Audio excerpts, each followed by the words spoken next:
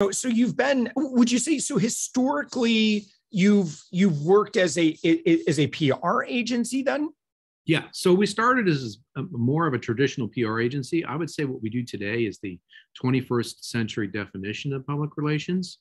Mm-hmm. A friend of mine named Gini Dietrich, who runs the spinsucks.com blog, one of the top marketing blogs in the world, has her own firm, Arment Dietrich, coined this concept called peso. It's spelled like the Mexican currency, but it's not. It stands for paid, earned, shared, and owned. And so in today's world, everything is digital. And sometimes you have to boost your content.